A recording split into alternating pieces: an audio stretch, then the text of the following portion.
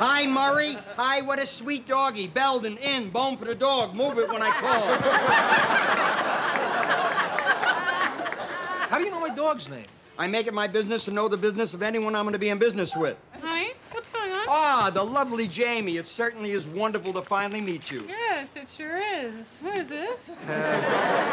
Freddie. This is Freddie. Freddie. Freddie is- Statler. Freddie Statler and his, his faithful companion, uh, Belden. Belden, move it. Bagels for the Buchmans. Why don't you sit right down, Jamie? Paul, sit right down there. There we are. Bagels for the Buchmans. I brought you the sesame kind that I know you like. There you are, Paul. How about you, Jamie? You'd rather not. What's wrong? No, nothing, I was just having cereal. Cereal. Make a note of that. She prefers cereal. We call Battle Creek. Okay. This is the deal. I've been looking at film, hundreds and hundreds of feet of film. I mean, until it was coming out of my hood. I've never seen, in my life, I've never seen such garbage. Direct on toast. The worst footage. But then I saw his film and I said, aha, that's genius. Excuse me, Uh, excuse honey, me. the, man- the man is talking, yes.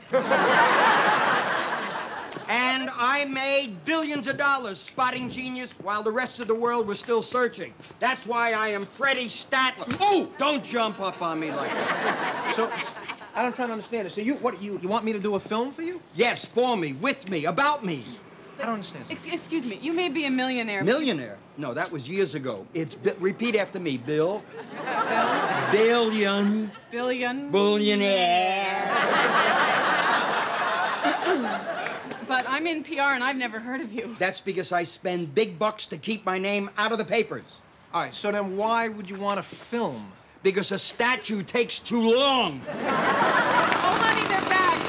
Oh, oh, I can't. I don't know how you kids live this way. This is incredible.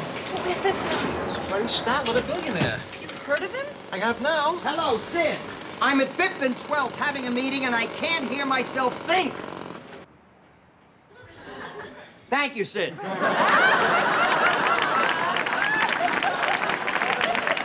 now, I'm prepared to pay you double what you got for your last job. He made six grand. He made three. I love her.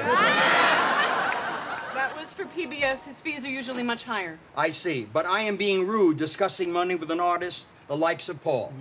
I would like to talk to your agent. Well, listen, I don't have an agent. Well, let me handle that. I'll get you one. well, here, here, here's the thing. Hello, Ovitz. Freddie, I know it's three hours early, but I gotta talk to you about a very bright young guy. Belden, move it. I'll be calling!